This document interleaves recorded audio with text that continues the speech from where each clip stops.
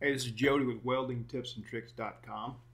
Today's video is about building one of the most useful things that any shop or school could have, a downdraft cutting table for using a plasma cutter, cutting torch, or even for welding and grinding. It's going to hook up to a fume extractor with a little special attachment, get a lot of downdraft uh, action going so you don't have to breathe that smoke.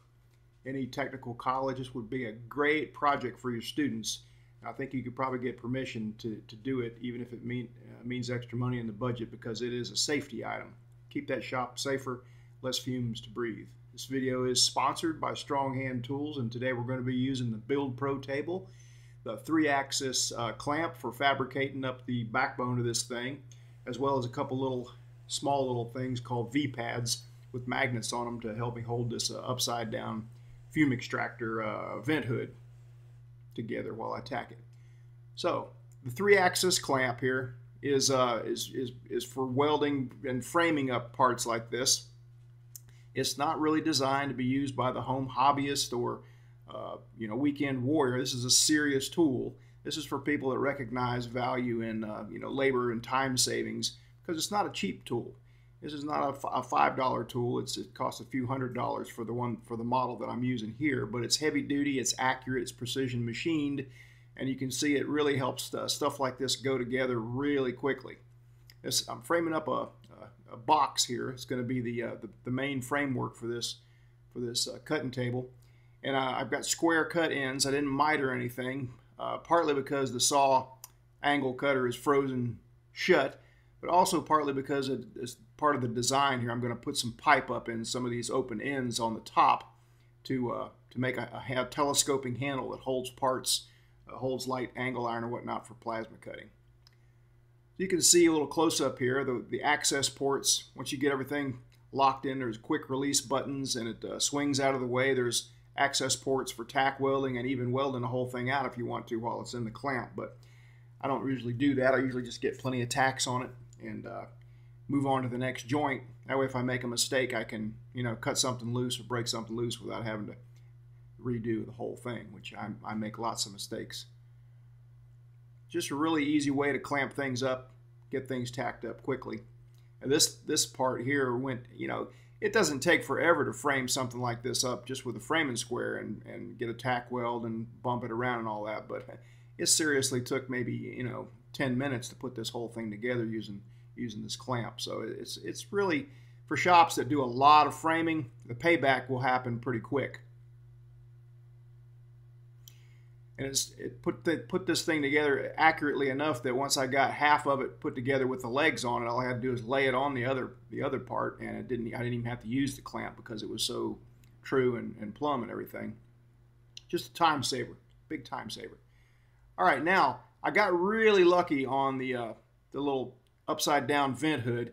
Just so happened these little bronze looking uh, they're, they're threaded holes that are designed actually to be go underneath the table and provide a threaded uh, hold down for any in any place on the table through those holes. But I got really lucky and just happened the bolt hole pattern uh, exactly matched the dimension of that upside down vent hood there. So what I'm doing here is I'm I'm drawing a seven inch square dead center of that other pattern. It's roughly uh, 27 inches on the outside, and I'm making that 7 inch square. That's how big I want my hole to be.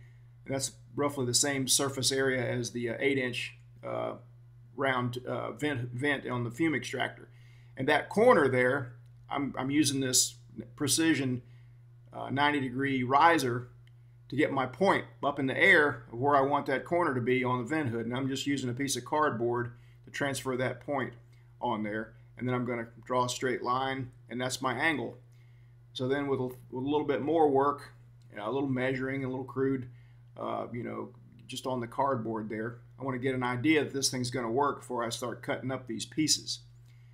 So I get my straight lines and my 7-inch uh, line up top there, get a good straight line on there, and then transfer the, uh, the other point 7 inches away from the, the one I marked, and then come down to the corner and there I've got pretty much the piece that I'm going to cut four of to make up that funnel, vent hood, whatever we want to call it. And laying it up there, I got a pretty good idea that laying four of them up there leaned in like that is going to work out just fine. So I'm using 16 gauge hot rolled steel.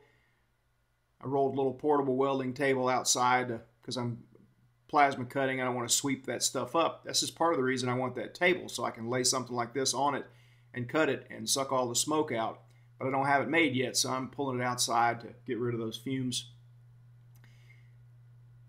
I don't have a shear. I'm not a sheet metal shop, just a kind of a job shop, so I don't have a shear yet. So a plasma cutter is like the next best thing sometimes. It does require a little cleanup, but not much. So you can make a nice straight cut without any warping on sheet metal like that just by using a, a long straight edge. I'm using a piece of uh, aluminum angle here. And I figured out that, a, about 5 sixteenths away is right for this Miller tip. I'm using a Miller Spectrum 625 Extreme plasma cutter. And I've got it set at max amps just so I can motor on as quickly as possible and using a drag tip. But as you can see, just clamping these, uh, clamping a straight edge, you can cut 16 gauge about it just up, you know, not, not as quickly as you can drag the torch, but darn near. And it cuts through it really nicely, leaving a good finish with hardly any cleanup. In fact, for this job, I'm not going to clean it up hardly at all. I'm just going to knock the, the rough slag off on it. And I'm going to use these little V-pad, magnetic V-pads here to help me hold this thing together. You'll see these little stops. They're, again, they're not designed for this. They don't. They, they're they're just got little magnets in them uh, but for what I'm doing today, it's just a really, just happened to work out, just a really quick way for me to set this thing up. And I'm really finding that I get lucky a lot like this with this table because there's so many hole patterns and so many variations of things that you can do to get a job done. Sometimes you make your own luck. But you see, I'm just pop that little magnet on there and it lets me hold it, gives me like a third hand. It looks like it's going to go together pretty well. Would have been a lot more accurate if I had a shear. Could have really been accurate and got within, you know, like a 30 second on the cuts. But the plasma cutter, along with being able to fill a little gap with the MIG welder, along with the fact that this thing is just a funnel and uh, it's going to look, it's going to have all kinds of dross and spatter stuck to it in a, a week after I put it into use. So uh, I'm not really uh, overly concerned with being perfectly accurate. Just want it just want it to look good and, and, uh, and fit and, and, and be able to weld it in there. So we get it all tacked up, bunch and bunch of tacks on it. You need to probably attack every three inches or so on something like this, roughly, at least every uh, five inches. Then I'm going to use a little technique called backstep welding and I'm going to weld everything downhill. 16 gauge, you definitely want to weld it downhill. Backstep welding means I'm going to weld about three or four inches, and then I'm going to stop, and then I'm going to go ahead of that, and then weld another three, tying into the previous weld, and that kind of limits distortion on something like this. You can see we got some gaps and some slag a little bit. You might even see a little porosity here and there crop up. But um, again, this is going to really look bad with all that dross on it in, in, about a week. So I'm really, really not worried about it. Really just need to get this part done. There you go. There's some porosity from not cleaning up the, uh, the slag quite good enough. But backstep welding, limit, limited to distortion. Mostly it's a full penetration weld there. And let's see if it fits. And it does. There's a little daylight up in there, but that's a lot easier than trying to beat it in. So I'm going to use a piece of uh, flat bar. You can see trimmed around here and that's the view from the top. And that's going to direct all the sparks and dross and everything down into that sliding tray. It will dump when it uh, when it gets about halfway full.